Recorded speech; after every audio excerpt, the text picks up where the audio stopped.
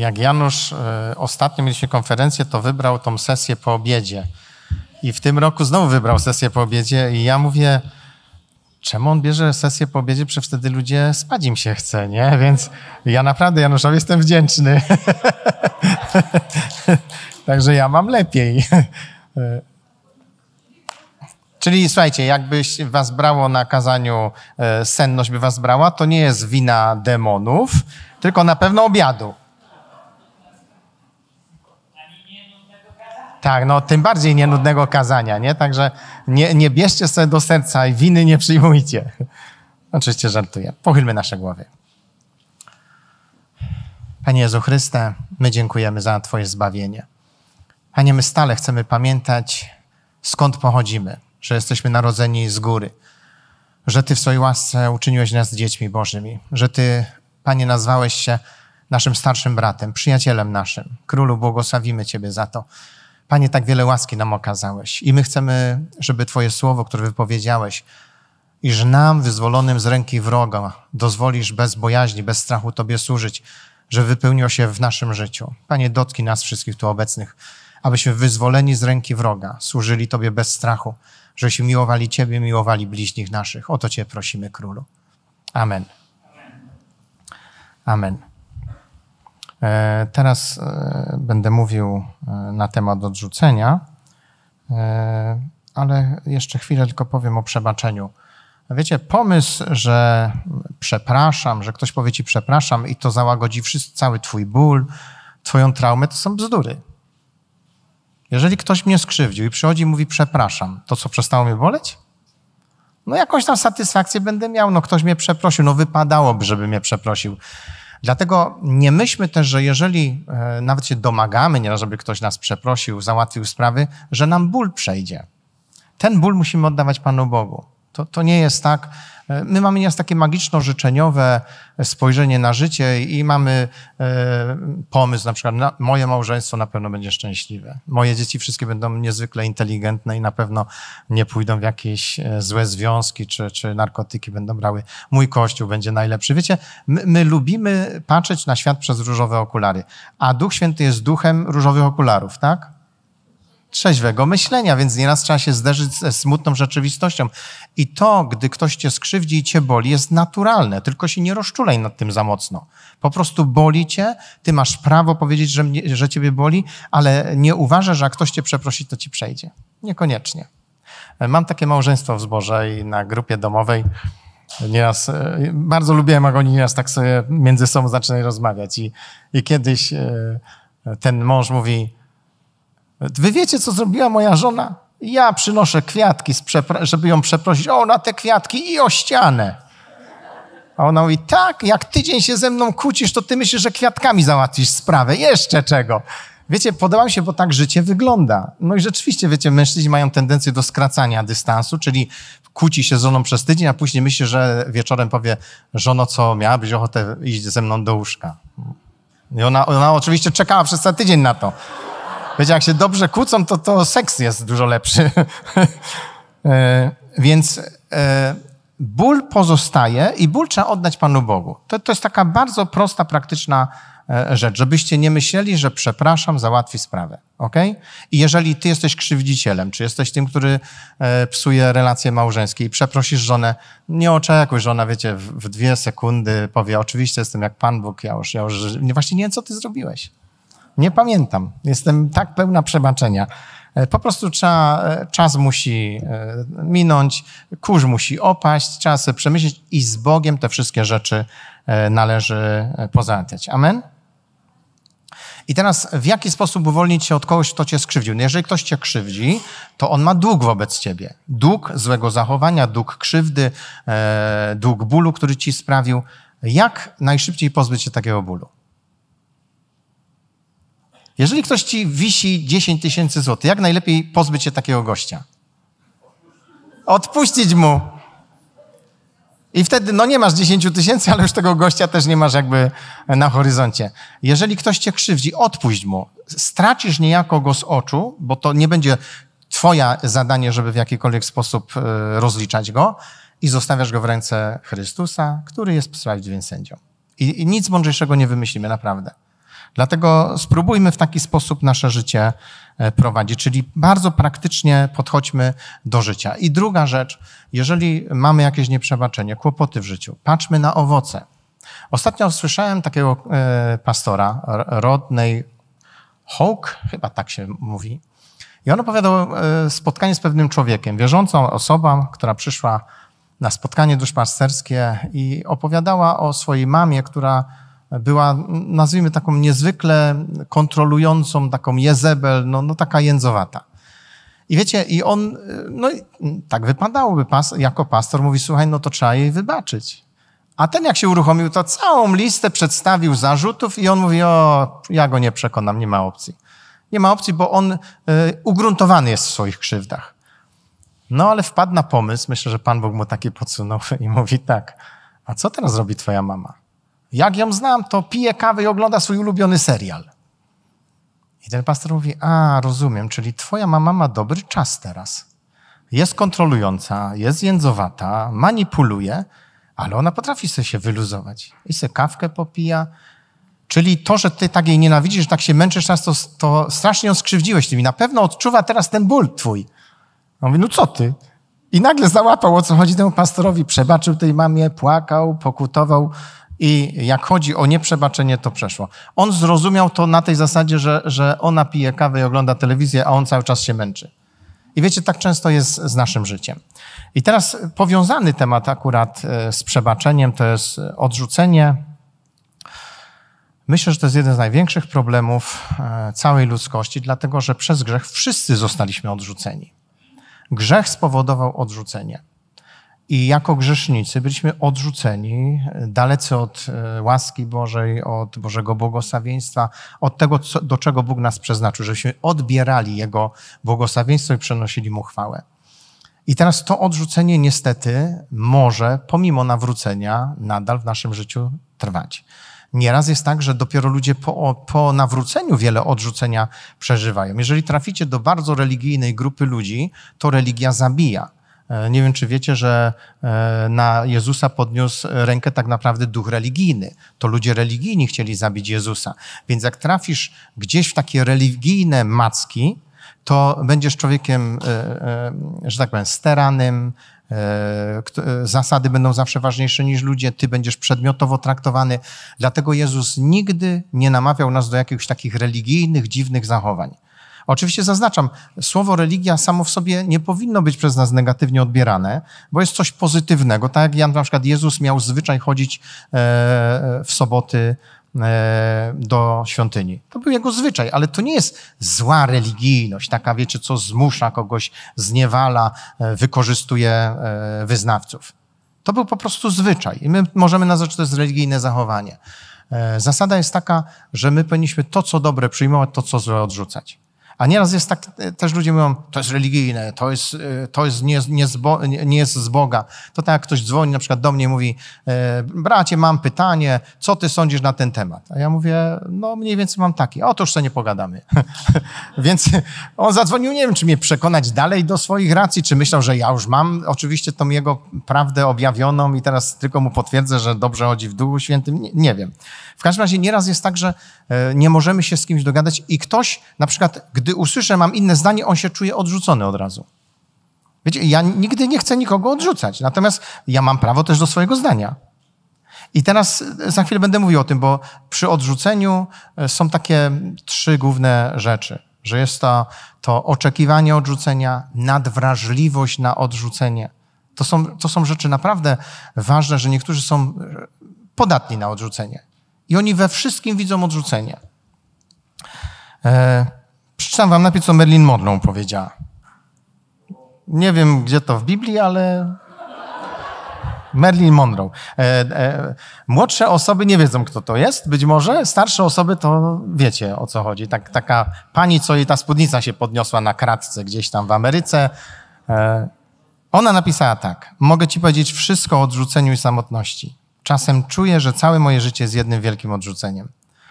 I dla ludzi to do tej pory, że sławna, z prezydentami się zadawała, wielcy tego świata, Pana Boga za nogi uchwyciła. A ona pisze, że jest samotna i odrzucona. Wiecie, odrzucenie nie jest kwestią ani stanu posiadania, ani wiedzy, ani wykształcenia.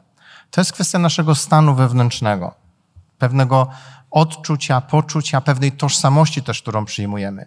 Zaznaczam, że my jako dzieci Boże nie mamy prawa żyć w odrzuceniu. Po prostu nie ma na to prawa, nie ma miejsca dla chrześcijanina. Dlaczego? Bo zostaliśmy w Chrystusie przyjęci. Tam, gdzie grzech spowodował odrzucenie każdego człowieka, w Chrystusie każdy człowiek jest przyjęty. I zasada biblijna jest tak obfita, tak, tak e, hojna, że mówi, że z powodu jednego upadku jest odrzucenie, natomiast dzięki Chrystusowi mamy powrót do Boga z wielu upadków. Czyli nawet jeżeli zgrzeszymy jako chrześcijanie, biegniemy do Chrystusa, który jest rzecznikiem, który wstawia się za nami, jest naszym orędownikiem i znów uzyskujemy przebaczenie z naszych grzechów. Więc ta, ta opcja jest włączona na stałe. Przyjęcie. Bóg jest Bogiem, który przyjmuje. Nawet ostatnio słyszałem takie zdanie, że całe niebo stoi w blokach startowych, żeby pomagać ludziom. Wiecie, jak mi się to spodobało? I rzeczywiście, no, czytamy Biblię. Wszyscy aniołowie chcą pomagać, chcą wypełnić wolę Bożą. Jak Bóg im każe nas pilnować, to będą nas pilnowali. Jak każe nam e, im coś, coś no tak jak, jak Bileam, e, że anioł stoi i go tam z tym mieczem i tak dalej, no to to zrobią. Oni są nieprzejednani, jeśli chodzi o, o, o brak wypełniania woli Bożej. Zrobią wszystko, co Bóg im każe. A tam, gdzie jest nieposłuszeństwo, to on, oni są tak sprawiedliwie święci. Kiedyś pewien brat e, mówi tak, ja wiele razy widziałem aniołów, ale wiecie co, ja wolę mieć spotkanie z Bogiem i z Duchem Świętym. Tam jest tyle miłości. Aniołowie to są srodzy nieraz. Oni jak staną, to po prostu strach człowieka bierze, bo oni nie przepuszczą żadnemu grzechowi, żadnej naszej ułomności. To nie jest tak, że robimy co chcemy i aniołowie będą przechodzili obok tego. Mówi, to ja już wolę z Bogiem, w nim jest tyle przebaczenia. I wiecie, ja się nad tym zacząłem zastanawiać i rzeczywiście, wiecie, Bóg jest tak pełen miłości, że przebacza nam wiele grzechów. I przyjmowanie odrzucenia i życie w odrzuceniu i odrzucanie przy okazji innych albo odrzucanie samego siebie jest naprawdę bardzo złą postawą. To, że ktoś nas odrzuca, to jest jedno, ale to, że my żyjemy w odrzuceniu, to jest e, to przyjmowanie tożsamości, której Bóg dla nas e, na pewno nie przewidział. E, bardzo wiele osób, które mają kłopoty emocjonalne, wiecie, tak psychologicznie czy psychiatrycznie, ta osobowości z pogranicza, borderline, różne, różne depresje, one bardzo często wynikają z odrzucenia, że gdzieś ktoś był skrzywdzony, być może molestowany, agresja w rodzinie i to powoduje to poczucie takie, że jestem niczym, i, I gdy przyjmiemy tą tożsamość, że jestem nikim, że każdy może e, mnie skrzywdzić, to w końcu okazuje się, że my nie jesteśmy w stanie żyć bez odrzucenia. A jeżeli żyjemy w odrzuceniu, to co będziemy robili? Odrzucali. Jeżeli uczymy nasze dzieci nienawiści do jakiejś rasy, to te dzieci będą to przejawiały. Jeżeli uczymy nasze dzieci tolerancji, one będą tolerancyjne.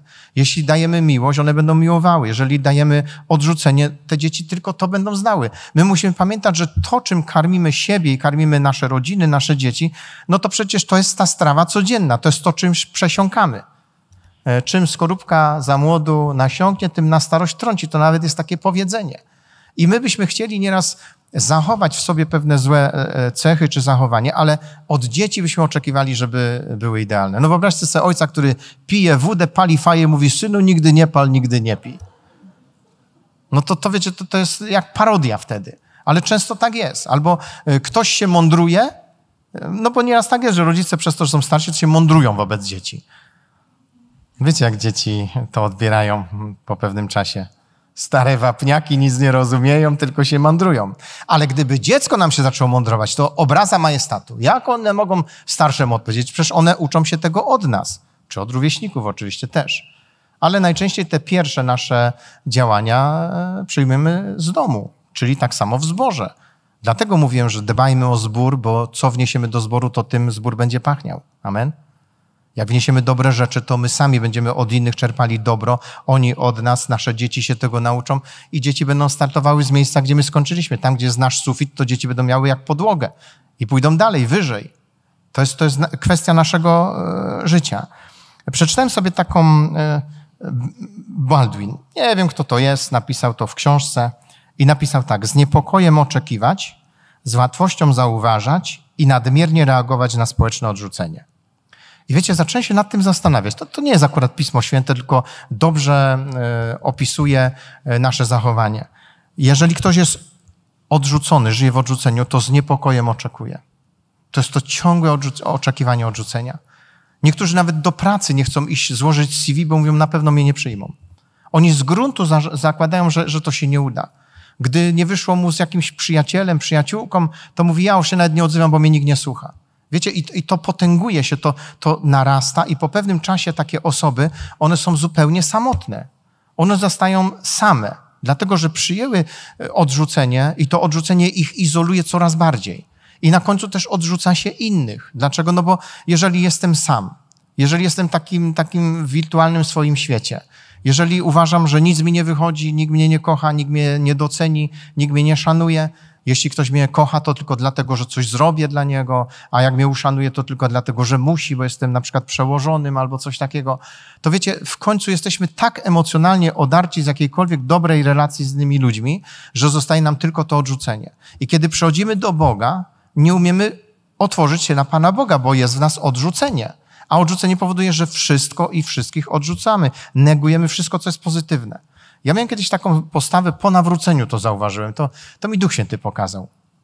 E, bardzo często, gdy mnie Duch Święty dotykał, ja się czułem taki gorszy, taki, taki brudny i mówię, Boże, e, jak Ty możesz mnie kochać takiego? I ciągle, co mnie Bóg dotknął, to ja tak, taką postawę miałem. I kiedyś w domu się modliłem i w pewnym momencie Duch Święty mi pokazał, że, no ja to nazwę tak, że to jest co najmniej fopa wobec Pana Boga że on mnie przyjął, że jak ja mogę ciągle mówić, jak ty możesz mnie kochać. On mówi, ja cię kocham, a mówi, jak ty możesz mnie kochać.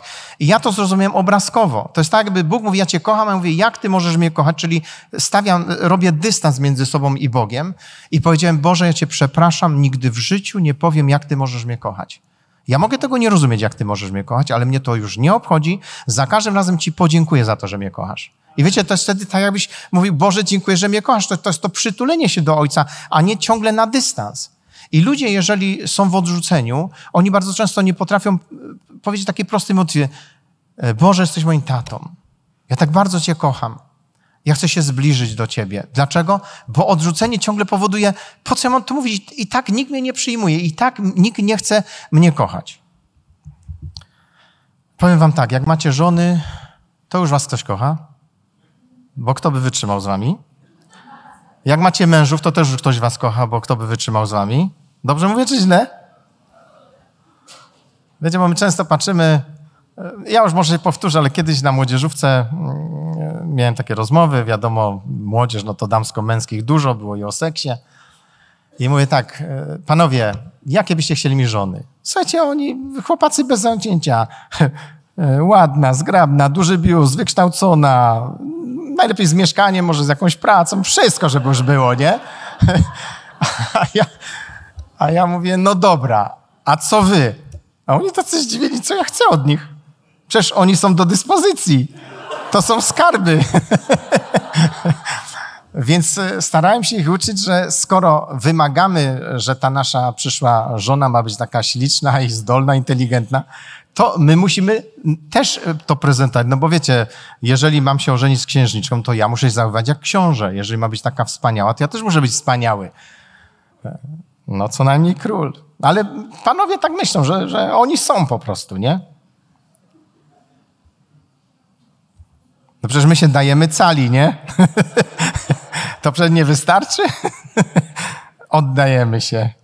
Więc z niepokojem oczekiwać. Więc w odrzuceniu jedną z takich znamiennych rzeczy jest to, że ciągle się oczekuje, że coś przyjdzie, jakaś krzywda, jakieś odrzucenie, jakieś poniżenie, jakiś wstyd, że to mnie będzie znowu demolowało. Więc e, wiecie, z takim podejściem, e, to w Biblii jest napisane, że leniwy mówi, e, że nie wyjdzie, bo lew jest w podwórzu. No wyobraź sobie, że ktoś mówi, on z domu przestaje wychodzić, bo tam jest lew w podwórzu. Czyli on ma jakieś urojenia, którym y, zresztą y, poddaje się, więc on nic nie robi. Ktoś, kto ma odrzucenie, to odrzucenie wypracuje taką w nim schizę, takie odłączenie, że on nawet nie będzie szukał dobrych przyjaźni.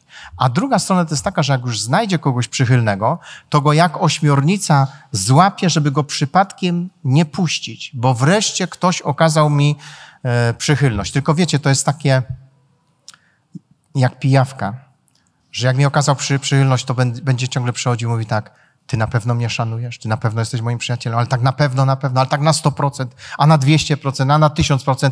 I to jest ciągłe szukanie dowodu, że ktoś jeszcze mnie akceptuje. Bracia i siostry, to, co powiedział Chrystus, to jest kwestia wiary, że my jesteśmy przyjęci. I teraz, jeżeli ja to przyjmę przez wiarę i stanę w tym mocno, to mam, mam e, jakby miecz, którym mogę sprzeciwić się każdemu odrzuceniu, bo ja jestem przyjęty. Ja mogę czuć odrzucenie, ale ja jestem przyjęty. My musimy też się nauczyć, że pewne rzeczy, które przychodzą do nas, one nie zawsze są nasze.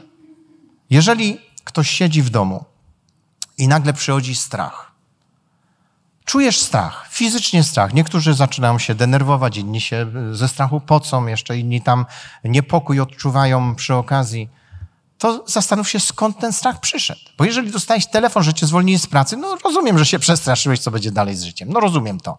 Ale jeżeli nic się nie stało i nagle przychodzi strach, to potraktuj, że coś cię odwiedziło. No chyba, że powiesz, że spadł ci cukier albo coś takiego we krwi. może się zdarzyć, jakieś zaburzenia e, minerałów. Okej. Okay. Ale jeżeli nie masz podstaw, a widzisz jakieś dziwne owoce, to pamiętaj, że to jest coś, co cię naszło coś, co przychodzi, żeby e, zadomowić się w Twoim życiu. I jeżeli Ty tego nie zauważysz, to będziesz wpuszczał strach, później może zmartwienia zaczniesz wpuszczać, później będziesz e, lęk o przyszłość wpuszczał, różne rzeczy zaczniesz wpuszczać, bo coś będzie przychodziło po to, żeby zrobić sobie warownię w Twoim życiu.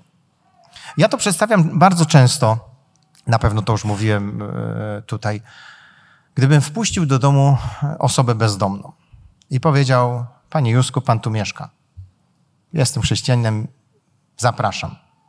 I poszedłby do jednego pokoju, żona by siedziała w drugim, za chwilę no, poczułaby zapach człowieka.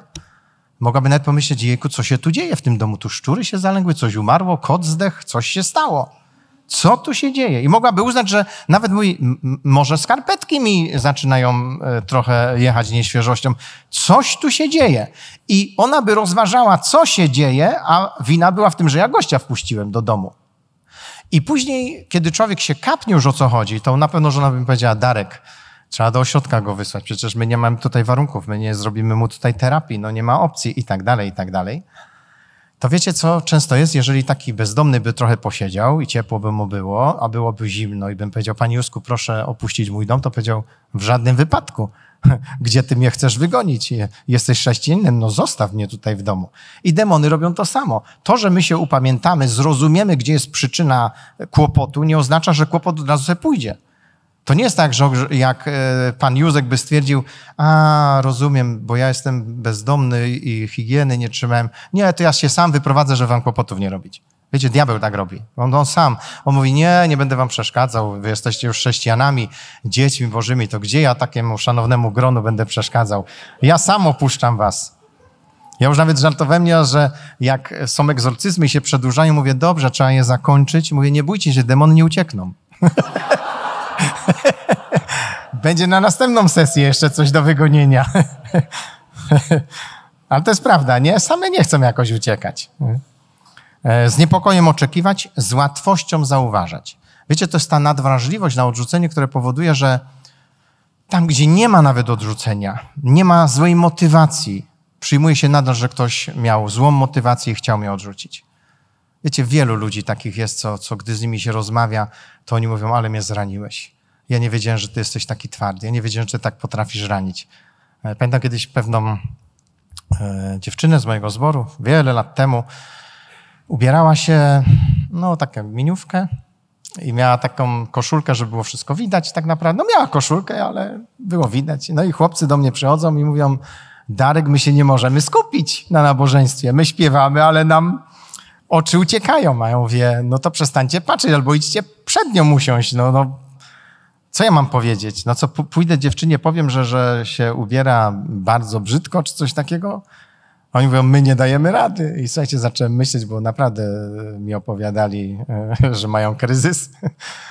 Trzy dni się modliłem, zanim poszedłem do tej dziewczyny, bo ja wiem, że wspomnienie komuś o jej ubiorze, który jest strasznie indywidualną rzeczą, jest e, e, potencjalnie odrzucające. No bo ktoś niejako krytykuje twój gust, twój sposób ubierania. Ja poszedłem z nią rozmawiać, e, mówię, mówię, ona zaczyna płakać i mówi, e, ale mnie zraniłeś. A ja mówię, no ja cię właśnie nie zraniłem. Ja chcę z tobą porozmawiać na prosty temat, tylko strasznie trudny, bo jest osobisty. Trzy dni się o to modliłem, żeby cię nie zranić, więc ja na pewno nie mam e, założenia, żeby cię zranić, ani cię nie chcę oskarżyć. Po prostu ja wiem, masz taki gust, podoba ci się taki ubiór, masz do niego pełne prawo. I zaznaczam, że jak ktoś pójdzie na, na, na plażę, to jest, dziewczyny są w bikini, mają jeszcze mniej niż ty.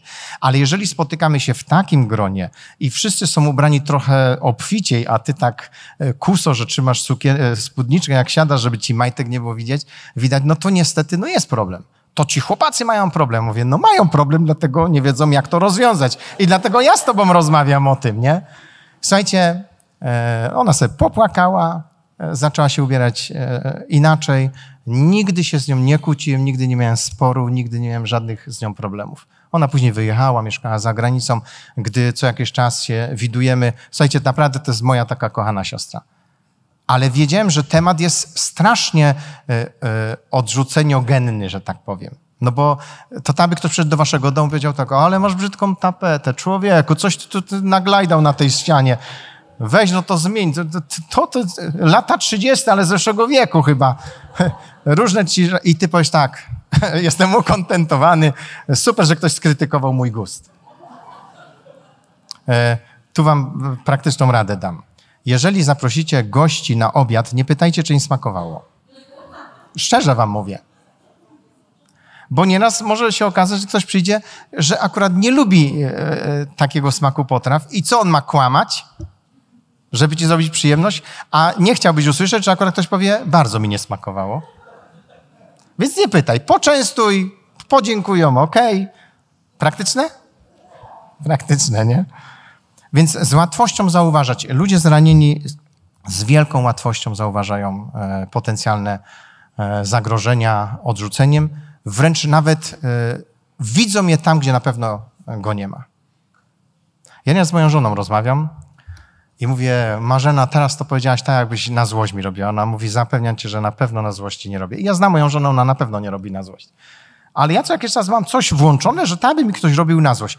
To nie jest na złość, tylko że ona miała inne zdanie to, to wiecie o co chodzi, nie? Że jak ktoś ma inne zdanie, to my myślimy, że ja znam takiego brata, który prowadził kiedyś fundację i jak my e, jako zarząd mieliśmy inne zdanie, to mówi kłody pod nogi mi rzucacie, rozwoju mi zabraniacie i tak dalej. On widział, że my jesteśmy przeciwko niemu we wszystkim, co nawet było mądre. I zasada jest taka, że my możemy e, czuć się odrzuceni tam, gdzie nawet nie powinniśmy w żaden sposób tego odrzucenia widzieć. Ale jeżeli będziesz nastawiony na to, no to będziesz to widział. To jest tak w tym dowcipie.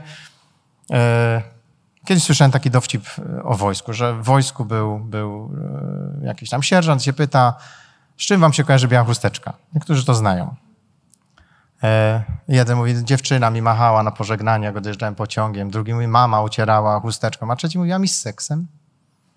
A ten sierżant mówi, czemu z seksem? Bo mi się wszystko kojarzy z seksem.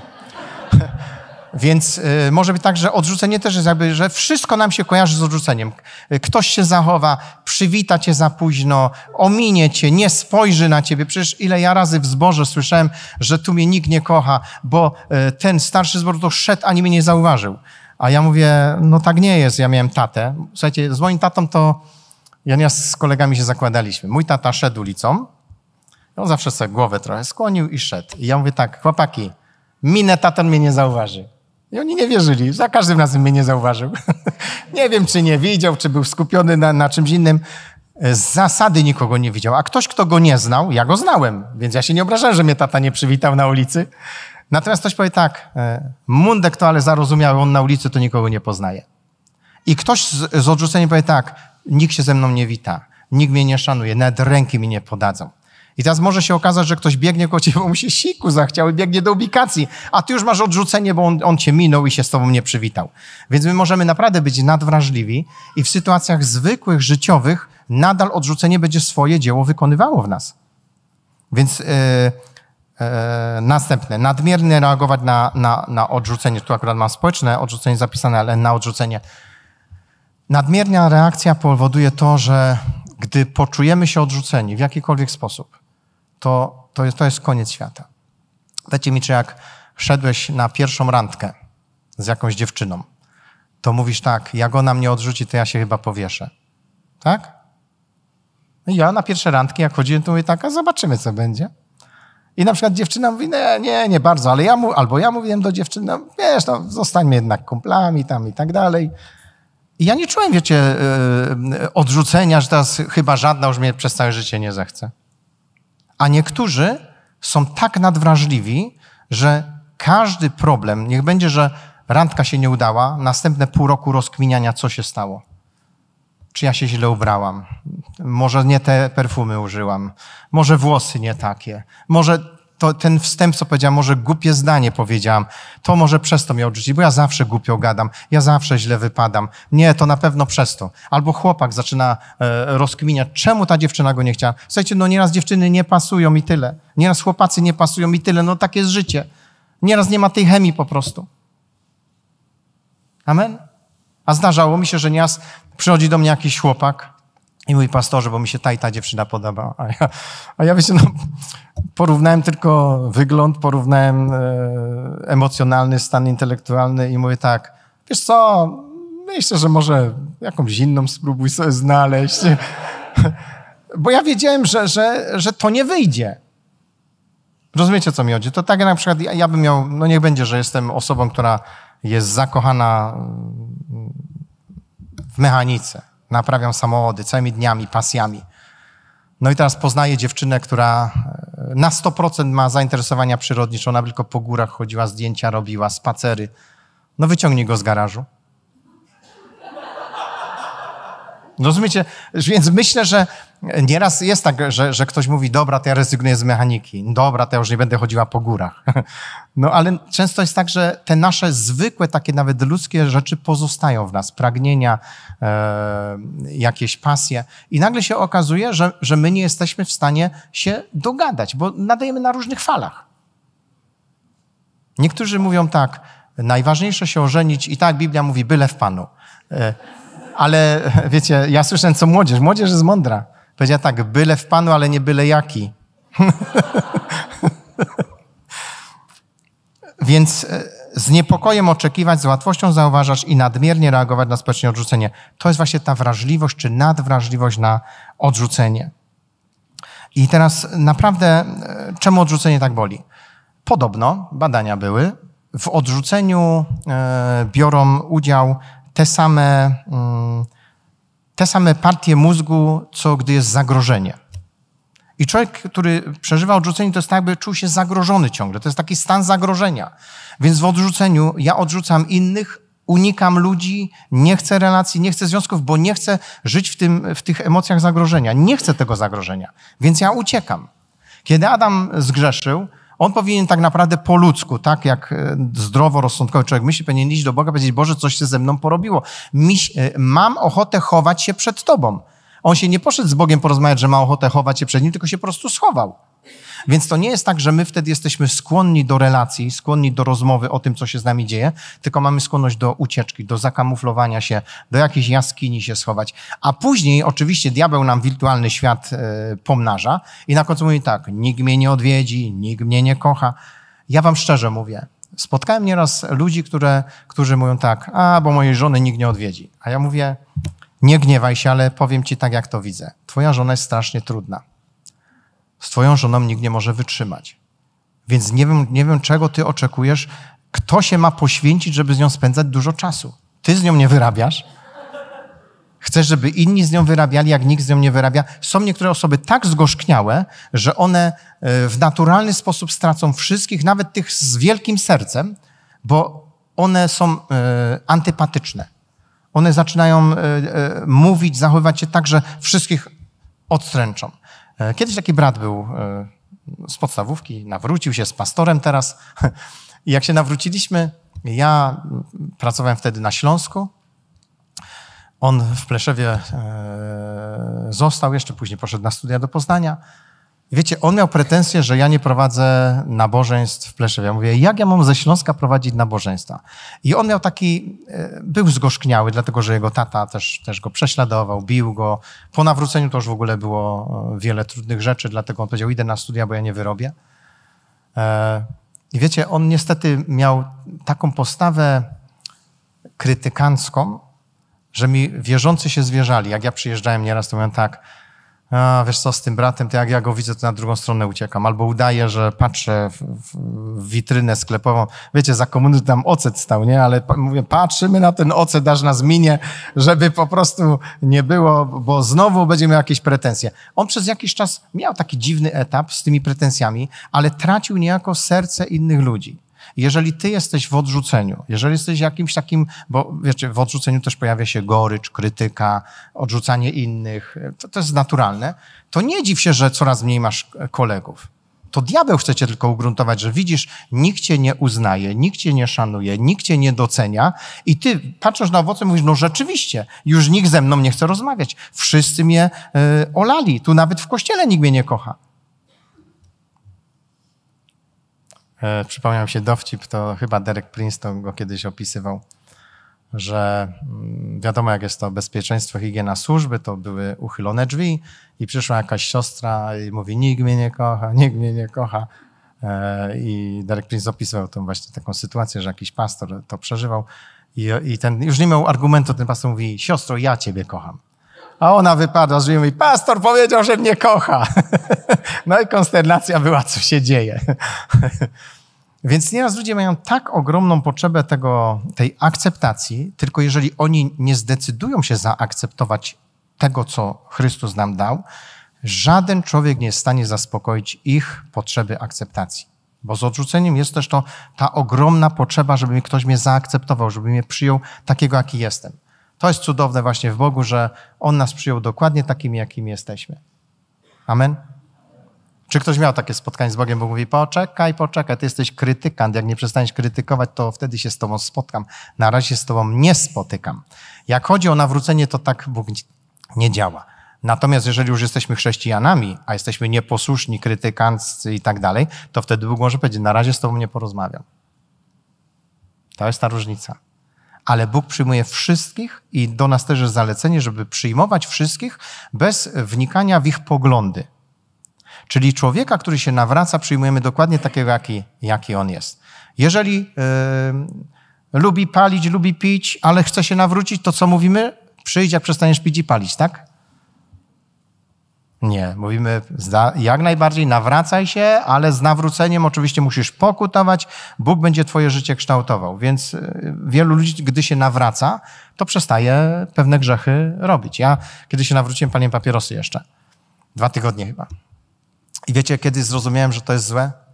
Biblii nie mogłem doczytać, bo jak e, palę se fajkę i czytam Biblię, puch, i literki, dym rozgoniłem, czytam dalej. I mówię, oj, coś tu nie tak, mówię, tak nie może być, to mi przeszkadza. Więc trzeba sobie zdać sprawę, że e, nikt z nas nie jest idealny po nawróceniu. Chodzi mi o idealne życie a Bóg nas przyjął i ta Jego miłość i ta akceptacja powoduje, że w nas jest to pragnienie zmiany, a On jeszcze daje nam siły do tej zmiany dodatkowo. Więc On dał nam wszystko, czego potrzebujemy, by mieć dobre życie, pobożne życie, życie, które się e, Panu Bogu e, podoba. Amen? I teraz, jak sobie radzić z odrzuceniem? Nawet wiecie, doczytałem sobie, że psychologia ewolucyjna, czyli taka bardziej z ewolucji, mówiła, że odrzucenie e, równało się śmierć. Że jeżeli była grupa kiedyś ludzi, gdzieś tam żyli w lasach i odrzucono tą osobę, ona najczęściej nie przeżywała ciężkiej zimy czy różnych trudnych sytuacji. Więc e, jakby e, jako ewolucyjne takie spojrzenie to psychologiczne polega na tym, że człowiek sam bez innych nie da sobie rady. Musimy żyć razem w jakiejś tam grupie. Więc my tym bardziej musimy żyć w jedności, skoro Jezus powiedział, że w jedności jest błogosławieństwo. A jedność powoduje, że my okazujemy sobie miłość i szacunek, że przyjmujemy się, że nawzajem sobie e, pomagamy. Oczywiście też nawzajem mówimy sobie o rzeczach, które należy zmienić. Jeżeli boimy się porozmawiać z kimś w cztery oczy o ewentualnym e, grzechu, no to jest problem. Kiedyś taki brat przychodzi do mnie i tak, bracie, widziałem taką siostrę od nas ze zboru i ona w takiej dwuznacznej sytuacji była, tam się całowała z kimś, a przecież ona mężatką była. A ja mówię tak, dzięki Bogu, że ja tego nie widziałem. A on tak patrzy na mnie i mówi, a czemu? A mówię, bo teraz ty będziesz musiał iść porozmawiać. bo Biblia mówi, że jak widzimy, że ktoś grzeszy, to trzeba iść i porozmawiać z tą osobą, a nie nasłać pastora. Co jest nagminne nieraz, nie? Że trzeba nasłać pastora, nasłać lidera, e, żonę nawet nasłać, kogoś tam nasłać, a ja tylko daję, sprzedaję cenne informacje. E, jak radzić sobie z odrzuceniem? Trzeba potraktować to jako coś, co jest normalne dla każdego człowieka. Powiedzcie, czy zawsze mm, byliście e, uhonorowani, gdy tego potrzebowaliście? E, gdy byłem młodym chłopakiem, może to była druga klasa podstawówki, dopiero po nawróceniu mi się to przypomniało. E, pamiętam, jak wiersze mówiliśmy i wiersze były na zasadzie, tam wiecie, jakaś nagroda, pochwała w szkole. No i to było chyba tam, pan Hilary zgubił okulary. No i tak się tam nauczyłem się tego wiersza. I pamiętam, że się modliłem do Jezusa. Mojem Chryste, ja Cię proszę, Ty mnie pobłogosław, mama się będzie cieszyła. Ja, jak się nawróciłem, normalnie Bóg mi to przypomniał. Ja byłem dzieckiem, więc, więc nie wiem, czy takich słów był, użył Pan Bóg wtedy, ale powiedział do mnie tak, nie, Ty nie chcesz tego dla mamy, Ty chcesz dla siebie. A ja tam zarzekałem się w tej modlitwie jeszcze parę minut, że nie, że to dla mamy, że mama się cieszyła. Słuchajcie, w połowie wiersza się zaciąłem. I nie mogę tego przebyć. Czemu ja się zaciąłem? I wiecie, ja tego nie pamiętam, ale jak się nawróciłem, nie wiem, mi się to przypomniało, że już jako młody chłopak potrafiłem Pana Boga nawet przekonywać do, do swoich racji. A czy jest odrzucenie, jak się modlicie do Boga, Bóg was nie wysłuchał? Nie czujecie się odrzuceni wtedy, że, że was Pan Bóg pominął? Nieraz kiedyś taki brat do mnie przychodzi i mówi, pastorze, bo się tak że czuję, módl się o mnie. Mówię, no dobra, no, słuchajcie, naprawdę miałem empatię do niego. Mówię, nie, no trzeba się pomodlić. A później jego żona powiedziała tak, bo on jadł tabletki i popijał wódką. A ja go, ja go spotkałem, mówię, no ty draniu jeden, mówię, bardzo dobrze, że cię Bóg, bo on się żalił, że go Bóg nie uzdrowił.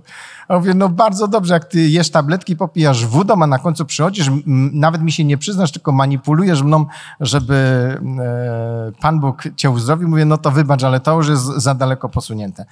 I wiecie, nieraz jest tak, że ludzie nie powiedzą wszystkiego, są odrzucani, dlatego że niektórzy z nas zasługują na, na odrzucenie. Rozumiecie? Po ludzku. W relacjach międzyludzkich nasze zachowanie powoduje, że my e, w naturalny sposób doznamy odrzucenia.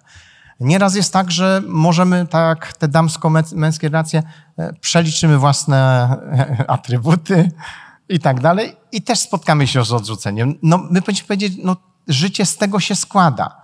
I teraz, skoro odrzucanie czy odrzucenie jest powszechne, to ja się temu nie poddam. Ja z tym przyjdę do Pana Boga. A jak będę nadwrażliwy, to pójdę, żeby Bóg uzdrowił moje serce z tej nadwrażliwości. I niestety to jest taka e, dosyć długi wysiłek czy walka. Bo jeżeli pozwolisz sobie na odrzucenie, to pojawi się na przykład wina, wstyd, złość, lęk, odrzucanie innych. Po prostu wkręcisz się w coś, czego nie będziesz mógł e, później wyjść. Amen? A później to już nawet, nawet ludzie nie muszą nic mówić, nie muszą dawać jakichś sygnałów odrzucających cię. Ty po prostu będziesz się czuł odrzucony. Rozumiecie? Będziesz wchodził, chodził jakby z takim piętnem odrzucenia. Gdzie pójdziesz, będziesz czuł się odrzucony. Ja pamiętam, jak przez ileś lat e, miałem problem. Problem był taki, że mnie atakowało porównywanie się. I ja mówię tak, Boże, no przecież to jest bez sensu.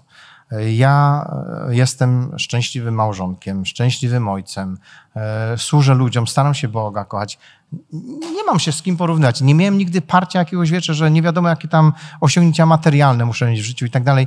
Więc mówię, co to dziadostwo tak za mną chodzi? I w końcu mówię, to w takim razie są ataki normalnie na moje życie, żebym zaczął się z kimś porównywać. I teraz e, też poczujesz się odrzucony. Dlaczego? Bo głupszy od ciebie ma pełno kasy, a ty masz mało. Bo głupsza e, e, twoja koleżanka w pracy ma takiego fajnego męża, a ty masz takiego średniego akurat. Już nie chcę powiedzieć, że kiepskiego, no średniego. I nagle e, przez porównywanie przyjdzie poczucie odrzucenia, poczucie gorszości, poczucie nieudanego życia i pozwolimy się wkręcić w to. Dlatego z pewnymi rzeczami my walczymy tak, jakby to było próba zainicjowania, zbudowania warowni demonicznej w Twoim życiu. I odrzucenie niestety jest dużą warownią.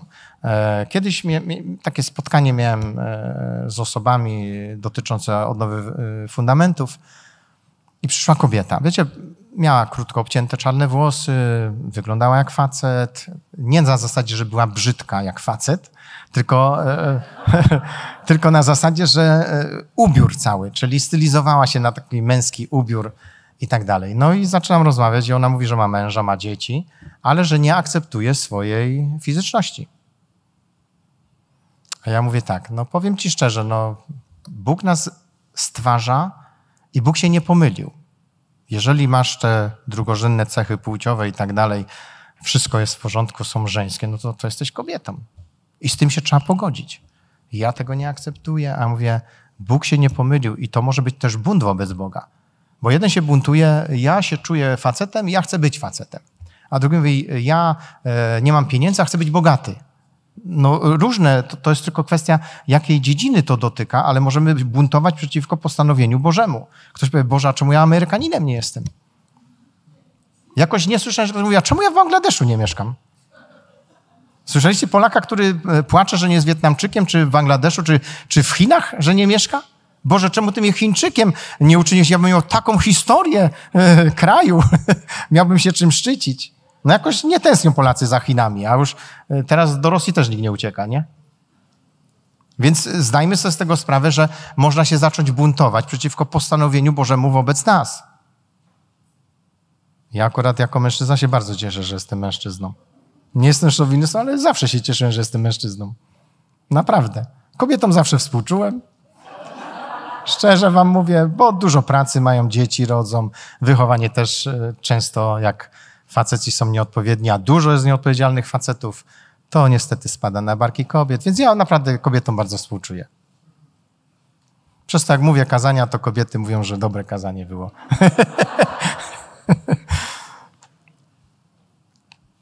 teraz ta kobieta, kiedy z nią rozmawiałem, nie wiem w jaki sposób weszliśmy na fizyczność i wspomniałem jedno zdanie, że no, każdy ma swoje przypadłości jakieś, czy coś takiego, czy, czy takie uwarunkowania fizyczne. Kobiety mają e, cykl miesięczny. Jak powiedziałem cykl miesięczny, ona się trzymała stołu, to razem ze stołem podskakiwała.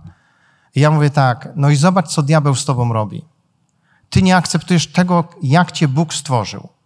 Zamiast powiedzieć, Boże, takie coś mnie atakuje, ale skoro stworzyłeś mnie kobietą, to ja zrobię wszystko, żeby się poddać Twojej woli. Mówię, zobacz, nawet go, z godności cię diabeł odziera. No siedzisz i trzęsiesz się razem ze stołem. Mówię, tak nie może być. Wiecie, ja to mówiłem naprawdę z miłością. Dlaczego?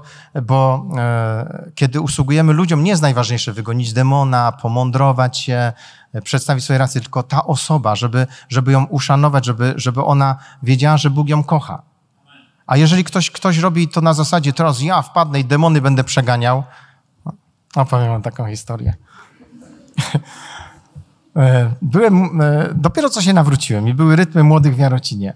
No i e, u pastora Damiana Nawrockiego w domu gotowaliśmy zupę, zapraszaliśmy tych narkomanów, hipisów tam, żeby przyszli. Panków może mniej, bo oni tacy byli bojowi, to, to raczej hipisów więcej przychodziło. W każdym razie e, taka była para i ta para była trochę naćpana. Ja usiadłem koło nich i, i mów, mówię im Ewangelię. I ten chłopak, co tak, wiecie, tak oczy podnosił wolno, bo to był ten pols, polski, polska e, e, morfina z maku. Więc jak przyćpany był, to taki był. I podchodzi chłopak do mnie.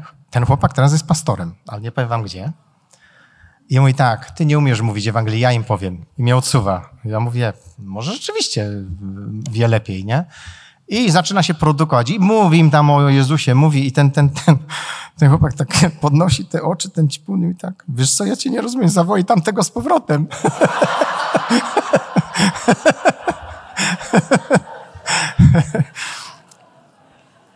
I wiecie, można się poczuć odrzuconym, no bo ktoś ci mówi, ty nie umiesz głosić Ewangelii, ty jesteś do niczego, nie? Tu akurat myślę, że Duch Święty się wtrącił i temu, temu bratu, który został pastorem później też, pokazał, że no, nie wypada być dumnym czy zarozumiałym. Ja nie wiem, czy się zmienił. Mam nadzieję, że się zmienił, że nie odsuwa ludzi. E, I teraz, jeśli dasz się wkręcić w te emocje odrzucenia, to diabeł to będzie też potęgował, bo pamiętajcie, jest nasza własna osobowość, nasz charakter. Są pewne granice naszej wytrzymałości, takiego bezpieczeństwa wewnętrznego.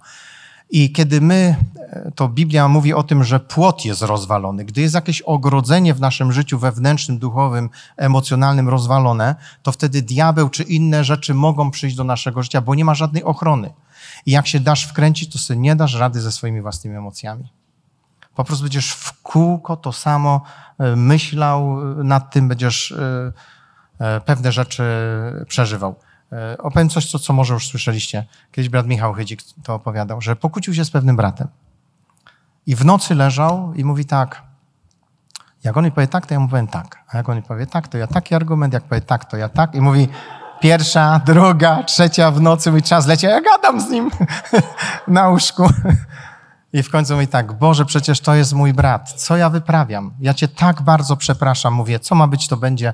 Ja go błogosławię. Ja w żadne kłótnie z nim nie wchodzę. I y, Michał mówi, to była jedna z, z takich super rozmów z bratem w Chrystusie. A wiecie, ten wirtualny świat już miał włączony na północy. A jakby tego nie powstrzymał e, przez upamiętanie się ze swojej własnej takiej zaciekłości, no to może i noc, i później kłótnia by była, i dalej by sprawa zaszła. Dlatego y, przyjście z tym do Boga powoduje, że ten ogień zaczyna gasnąć. Nie zawsze to jest łatwe, bo mamy pewne schematy myślowe wyrobione. My niestety mamy pewne schematy wyrobione. Gdy mówimy na przykład o alkoholizmie czy o narkomanii, to tam jest system nagrody. Czyli mam stres i moją nagrodą jest picie, więc ja robię wszystko, żeby pić. Czyli każdy problem, każdy stres, każdą trudność załatwiam w ten sposób, że załatwiam picie i piję. I 15 minut później mam ulgę. Jak się obudzę, to żeby nie wróciło, to trzeba poprawić. I po prostu niestety to jest ten ciąg alkoholowy później. Więc my mamy pewne e, schematy, jak uciec od e, niewygodnych rzeczy. I nie myślę, że to tylko alkoholicy. My też mamy swoje e, sposoby na uciekanie od kłopotu. Nieraz ludzie, gdy widzą, że nadchodzi ciężka rozmowa z kimś, to wolą się z nią pokłócić. Nie będą rozmawiały już z nią. Nawet w domu nieraz to stosują ludzie. Że mąż, jak, jak wie, że żona za chwilę parę rzeczy mu powie, to zdąży się pokłócić i myśli, mam z głowy, pokłóciła się, parę dni będzie cisza, może zapomni. E, czyli odrzucenie jest e, odczuwane w naszym ciele jak poważne zagrożenie. E, I dlatego my musi, u, e, chcemy uciec od tego. Tylko jako ludzie e, bez Bożej mądrości uciekamy w zły sposób. Czyli uciekamy w izolację, uciekamy w samotność, uciekamy w rozczulanie się nad sobą, w poczucie bycia ofiarą, w oczekiwanie odrzucenia. I niestety coś się z naszym myśleniem, sposobem myślenia dzieje, że my nie funkcjonujemy, nie funkcjonujemy już prawidłowo. Ja spotkałem kiedyś osobę egzaltowaną. Znałem to słowo, ale osoby takiej jeszcze nie spotkałem. To była rozmowa duszpasterska. Polegała na tym, że ja powiedziałem zdania, później dwie godziny słuchałem takiej tyrady. A drugie spotkanie było takie, że po kilku zdaniach e, ta osoba się obraziła i poszła do siebie do pokoju na górę i skończyła się rozmowa. Była tak tota, w takim totalnym poczuciu odrzucenia i tym, że ona ma rację, bo ona prawdziwie jest ofiarą, że żaden argument nie przechodził. I później jest problem, wiecie, jak jest na przykład małżeńska, e, kłopoty małżeńskie.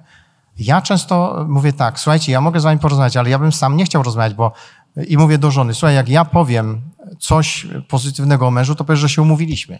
Albo, że jestem facet i mówię tak samo jak facet.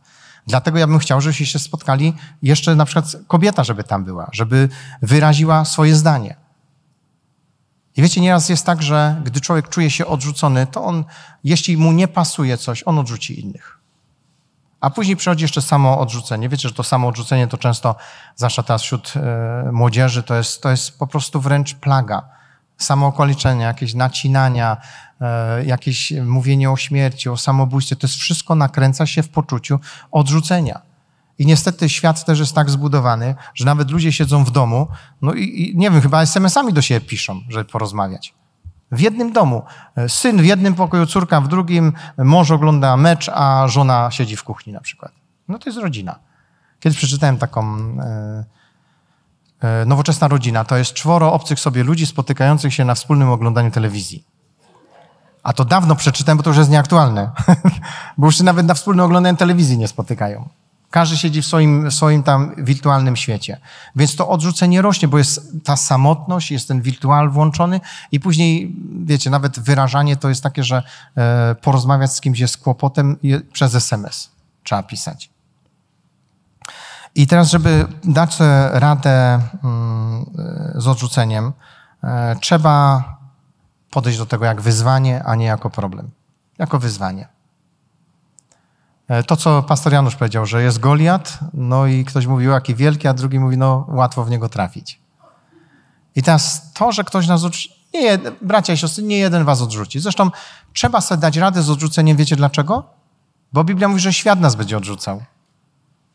To co my jeszcze będziemy pomagali diabłu i sami będziemy się odrzucali i żyli w odrzuceniu?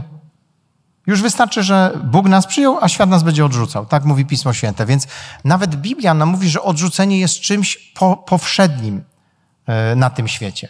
Więc nie maszmy w ogóle o takim świecie, gdzie nie będzie odrzucenia, gdzie nie będzie zranień, gdzie, gdzie wszyscy będą przychylni. Nawet o kościele w ten sposób nie, nie myślcie.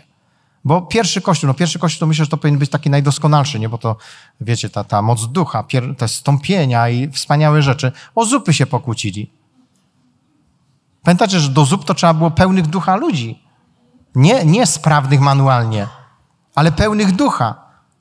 I apostołowie wiedzieli, jak my nie damy tam mądrych, to się będą kłócili. I o zupy się kłócili, że jedne mają więcej, drugie mniej. Nie wiem, czy mieli miarki, czy chochlom odmierzali. No pokłócili się. Samo życie, prawda? E, zobaczcie, e, kiedy odrzucenie działało w Saulu, czyli królu Saulu, e, pamiętacie, on był o głowę wyższy od całego ludu, więc on się wyróżniał. Został ustanowiony królem, a on ciągle w, w gorszości, w odrzuceniu. Jak zaśpiewano kiedyś, że pobił Saul tysiąc, ale Dawid dziesięć tysięcy, no to zaraz Dawida chciał zabić. Odrzucenie wpuszcza też inne duchy. Akurat do Saula wpuszczało morderstwo. Więc do tego biednego Dawida z włócznią gonił, różne rzeczy się działo. A jak się upamiętał, to mówił, o mój synu Dawidzie, a za chwilę znowu go tam próbował zabić. Wiecie, nie wiem, czy byście chcieli z takim bratem czy siostrą żyć w zborze, który dzisiaj mówi, mój przyjacielu najwierniejszy, a jutro cię obgaduje e, e, i, i robi ci przykrości, a pojutrze znowu mówi, o mój bracie ukochany. To jest schizofrenia jakaś duchowa, ale tak to działa. Więc e, król Saul, będziesz żył ciągle w zazdrości i porównywaniu się, bo odrzucenie wpuszcza inne duchy. Odrzucenie musi umotywować, że jesteś odrzucony, czyli jesteś gorszy, masz mniej, nie jesteś tak mądry. Ja spotykałem nieraz osoby, które były, e, ja się dziwię, tak inteligentne, a one mówiły, że są głupie, że są nieudacznikami. To nie była kwestia tego, co wiedzieli, tego, jakie zdobyli wykształcenie, tylko ich postawy wewnętrznej. I spotkałem też chrześcijan, którzy bardzo kochali Boga, ale mówili, że oni nie kochają Boga. Bo oni e, na przykład e, pokazywali na zewnątrz mnóstwo działań e, zgodnych z Biblią, ale nie utożsamiali się z tym, że to wypływa po prostu z Jego tożsamości w Jezusie, z Jego, z jego łączności z Chrystusem. Więc oni uważali, że są złymi chrześcijanami i tak dalej, i tak dalej. Chociaż taki dowcip wam powiem pewien człowiek, no jest uwielbienie, na przykład niech będzie, że Sławek prowadzi uwielbienie i ktoś pewnie mówi, bracie, tak ci dziękuję za uwielbienie, to nie ja, to Pan Bóg. Oj, bracie, nie przesadzaj, Pan Bóg by zrobił lepiej. Więc nieraz... A niektórzy też tak, wiecie, jak e, powie kazanie, ktoś powie, e, podoba mi się kazanie, to nie ja, to Pan Bóg. No wiecie, to, to, to jest tak religijne, tak obrzydliwe, że szok. No po prostu trzeba podziękować. Zgodzicie się ze mną? Ktoś zrobi coś dobrego i mu dziękujecie, no powie, fajnie, dziękuję, że mogłem to zrobić. Skromnie to zrobi, koniec, a nie udawaj, że to Pan Bóg. No nie Pan Bóg, przecież ty tą zupę nalewałeś, czy ty kazanie mówiłeś i tak dalej. A że Duch Święty wspiera, to na pewno. E, później będziesz ciągle czuł się mały. Mały, nieprzystający do grona. E, będzie, będzie być może tak, że e, żyjąc w odrzuceniu będziesz patrzył na innych ludzi mówił tak, ja tak nie umiem jak oni, ja nie dam rady, ja się nie zmienię. Czyli diabeł ugruntowuje już tobie, umotywowuje cię do tego, że zmiany nie mają sensu. To jest nieprawda. E, wykończysz siebie i innych taką postawą. Dlatego jak nie chcesz zrobić tego dla siebie, zrób to dla Kościoła, zrób to dla rodziny. Nie żyj w tym odrzuceniu, bo Chrystus cię przyjął. Amen? E, Wiecie, odrzucenie było widoczne na przykład w apostołach, e, czy działanie odrzucenia. Przychodzi Piotr i mówi tak, Panie Jezu, wszyscy cię, Ciebie zaprą, ja nie. No i teraz, jakbyście byli apostołami, to byście powiedzieli: Ja z Piotrem chcę mieć dobrą relację. Bo ten pyszałek nas wszystkich poniża, a z takimi ludźmi się bardzo dobrze żyje. On uznał, że wszyscy się zaprą, ja nie. Co to znaczy? Że Pan Jezus miał w gronie swoich ludzi na przykład zarozumiałego Piotra, który może nie żył w odrzuceniu sam, ale bardzo skutecznie działał odrzucając innych. I się kłócą ze sobą. Albo weźcie, y, nie pamiętam, który to apostoł był, jak y, szedł y, Pan Jezus wskreślić z martwych Łazarza i mówi, że Łazarz śpi. A to dobrze, będzie zdrowy. Jak se pośpi, to będzie ok. Jezus mówi, nie, on umarł. I jeden z apostołów mówi tak, to idźmy, umrzyjmy razem z nim. I ja tak kiedy czytam, mówię, no z takim bym nie chciał współpracować. No egzaltowany jakiś gość, jak usłyszał, gdzieś ktoś umarł, to on też umierać chce. Później mówię, jak on chciał umierać? Położyć się na pustyni z Jezusem, dwunastu się mieli położyć, czekać, aż ich udar słoneczny złapie. Jak on chciał umierać w ogóle? Co tam się dzieje? I nagle się okazuje, wiecie, że ten apostoł, który mówi, że chce umierać, no bardzo łatwo takiego gościa za głupotę odrzuci. Powiedzieć, chłopie, z tobą to nawet nie ma co uzgadniać nic, bo ty zawsze umierać chcesz albo jakieś inne rzeczy wymyślisz. Z Piotrem byśmy powiedzieli, z tobą nie ma współpracy, bo ty się uważasz za lepszego. Następny niewierny Tomasz, on w nic nie wierzy tak naprawdę do końca, nie? Synowie Zebedeusza, ci to znowu ci z pozytywnym wyznaniem, nie? Trzeba ogień z nieba ściągać i moc, moc, moc. Wiecie, za co chcieli zabić tych ludzi tam w tej wiosce? Bo noclegu Jezusowi nie dali. Także e, nie dacie komuś noclegu, kara śmierci. Więc to, taką teologię mogli mieć włączoną, więc Jezus ich prostował. I nagle się okazuje, że my sami inicjujemy nieraz odrzucenie. I z tym też trzeba się, się jakby e, pogodzić, że my naprawdę swoim postępowaniem możemy inicjować e, odrzucenie. Amen?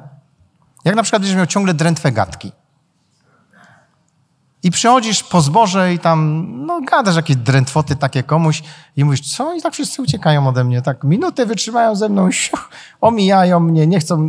Jak zaproszę na kawę, to mówią, tak, ale się bardzo śpieszę, to mam tylko pięć minut.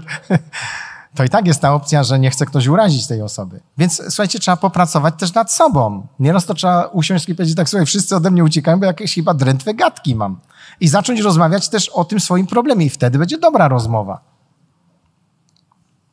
Więc y, jeżeli chcemy nasze życie zmieniać, to trzeba potraktować odrzucenie jako wyzwanie, a nie jako problem, który y, mnie będzie niszczył. Przeczytam kilka fragmentów na koniec. Izajasza 54 rozdział. Gdyż Pan uzna cię znów za małżonkę, niegdyś porzuconą i strapioną w duchu, bo czy można wzgardzić małżonką poślubioną w młodości, mówi Twój Bóg. Izajasza 53 rozdział.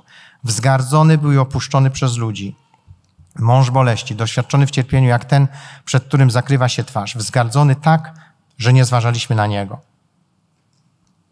E, Psalm 22, no to któryś z psalmistów e, pisze tak, ale ja jestem robakiem, nie człowiekiem, hańbą ludzi i wzgardą pospólstwa. No to jest właśnie życie w odrzuceniu. To jest opinia o sobie samym, takie samo odrzucenie. Oczywiście nawet może powiedzieć tak, ja zasłużyłem na, na takie myślenie. Moje życie potwierdza mi takie myślenie, ale nadal to nie jest e, coś, co się ostoi przed obliczem Bożym. Bo kiedy staniesz przed Bogiem, Bóg ci powie, a ja cię miłuję i ja chcę, żebyś żył ze mną. I jeśli będziesz mi poddany, posłuszny, ja cię wyprowadzę z wszystkich twoich problemów. Czy tak możemy powiedzieć, że tak, tak Bóg do nas mówi? E, jeszcze inny fragment. Czy zupełnie odrzuciłeś Judę? Czy twoja dusza obrzydziła sobie Syjon? Dlaczego tak nas uderzyłeś, że już nie ma dla nas uleczenia? Oczekiwaliśmy pokoju, lecz nie przyszło nic dobrego. Czasu uleczenia, lecz to przerażenie. I my wiemy, czemu takie e, poczucie odrzucenia było w Izraelu, bo ciągle byli przeciwko Bogu, ciągle grzeszyli, ciągle wszystko robili po swojemu. Więc bracia i siostry, my i tak wiele rzeczy zrobimy po swojemu, bo niestety nie, nie mamy aż takiej e, wiedzy i zrozumienia Bożego Słowa, więc gdzieś tam nam się zdarzy. Ale niech to nie będzie świadome. Niech to nie będzie miejsce, gdzie ja świadomie, znając Boże Słowo, nie walczę o to, żeby je wypełnić, tylko poddaję się jakimś innym naciskom, emocjom i niestety będę żył e, w odrzuceniu. Amen. Zwłaszcza, że Biblia tak naprawdę mówi o odrzuceniu człowieka przez Boga, ale, tak, ale całe przesłanie jednak, e, które się tam przeplata, mówi o przyjęciu. O przyjęciu w Jezusie Chrystusie. i my jesteśmy przyjęci. I oby dzisiaj, jak się będziemy modlili, żeby wszelkie podstawy czy warownie odrzucenia, cokolwiek, co, co was byłoby, co, co diabeł zbudował, żeby dzisiaj odeszło, żebyście pojechali do domu jako wolni od odrzucenia. A jeżeli nie całkiem wolni, to żebyście pojechali chociaż z tym naciskiem na swoje własne życie. Ja się nie poddam odrzuceniu, bo nie mam do tego prawa. Ja mam prawo e, utożsamić się z przyjęciem, ale nie z odrzuceniem. Amen?